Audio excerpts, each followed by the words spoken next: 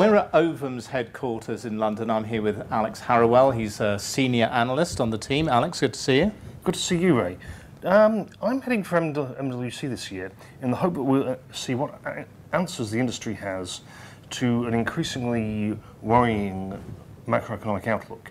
We saw volumes cut at Apple. We saw disappointing results from Samsung. Right. We saw warnings across the chip making sector about demand from both PCs, from, from well, well, from PCs, from smartphones, and also from the cloud. There appears to be, in general, a sector-wide, a sector-wide downturn in progress. On the other hand, though, the big news is 5G. It was last year, it is this year. Uh-huh. And we do see some evidence of this. Xilinx, a chip maker which specializes in FG, FPGA chips, which go into the base stations for 5G, saw, rather, saw very good results, right. implying that there is, in fact, significant spending filtering through on the 5G infrastructure. To make this happen, to make this worthwhile, primarily to the enterprise. Right, which is your area of expertise, right? There's sort of enterprise use cases. And Absolutely. Now, last year, there, were a lot, there was a lot of talk about this, but there was surprisingly little sign of any real applications that enterprises might use. Right. So this is primarily what I'm looking for, is real engagement with the enterprises themselves.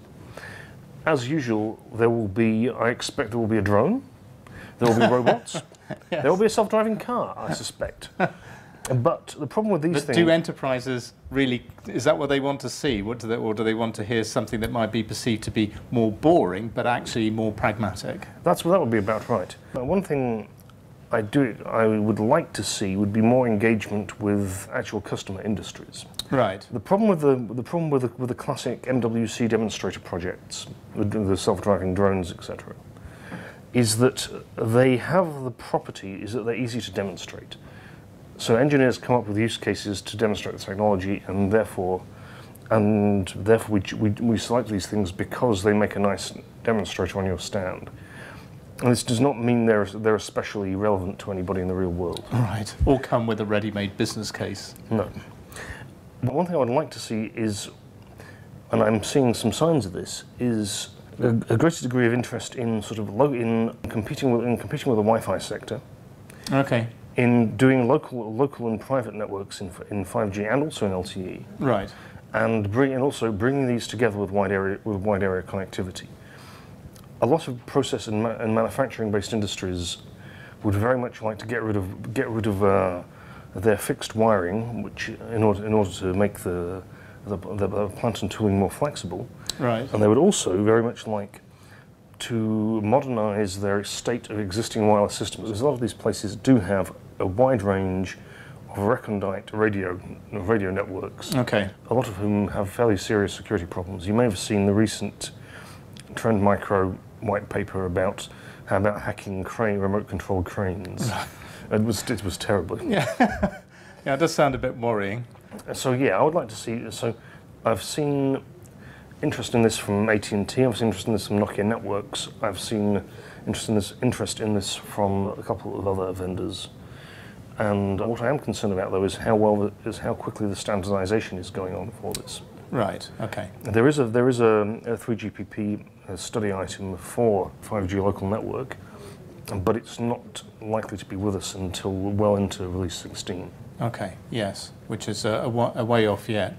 From from the enterprise side of things, do you sense that there is um, any excitement about what 5G might deliver, or is it kind of are they not really getting caught up in the in the hype cycle? There are various various industrial customers are doing are taking part in the trials with more or less enthusiasm.